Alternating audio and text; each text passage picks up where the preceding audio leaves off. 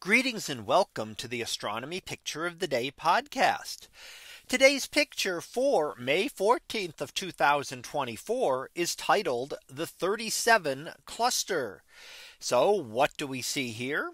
Now here we see a bunch of stars in the sky and part of the star cluster known as NGC 2169.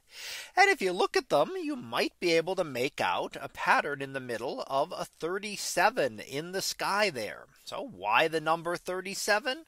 Well, really, it's just, of course, random positioning of the stars. And of course, our minds want to put some kind of pattern there. So when they're close to a similar pattern to something we'd be used to seeing, such as a couple of numbers here, you may convince yourself that there's a number 37 in the sky. And of course, many would say it shouldn't be 37. Why don't they form 42, which of course is the answer to the ultimate question of life, the universe, and everything from the hitchhiker's guide to the galaxy. So might have been more appropriate if they happened to form a pattern of that instead. But instead we get a 37, just a little bit less that 42. Now this is what we call an open cluster of stars. It's a relatively young cluster. So in this case only about 11 million years old. Now that's very young when you consider our sun being about four and a half billion years old. So these are very young stars and tend to be much hotter than our own sun. And in fact, if you waited four and a half billion years, none of these stars would still be around. So this 37 will have disappeared by then. And in fact, long before then, because many of these stars don't live for a long period of time. We just happen to see them now because it's a young cluster and they've recently formed. Now open clusters are so named because they are not gravitationally bound together.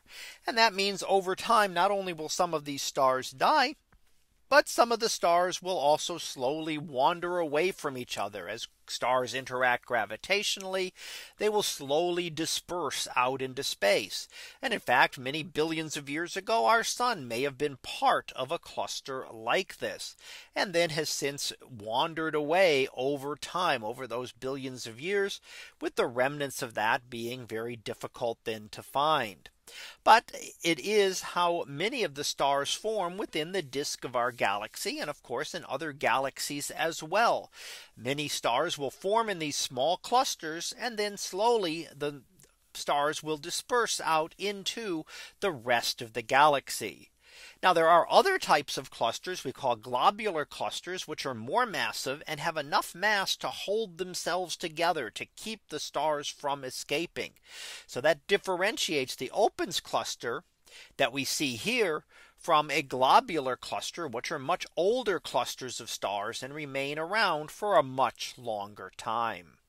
So that was our picture of the day for May 14th of 2024. It was titled the 37 cluster. We'll be back again tomorrow for the next picture previewed to be green space arch. So we'll see what that is about tomorrow. And until then, have a great day, everyone. And I will see you in class.